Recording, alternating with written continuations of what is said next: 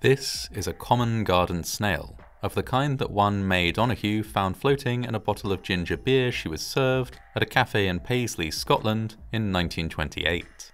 The sight of a decomposing snail in a beverage she had already partially drunk instantly sickened Miss Donoghue and ultimately landed her in hospital, where she was treated for stomach pains and shock. She recovered, but that wasn't the end of the incident.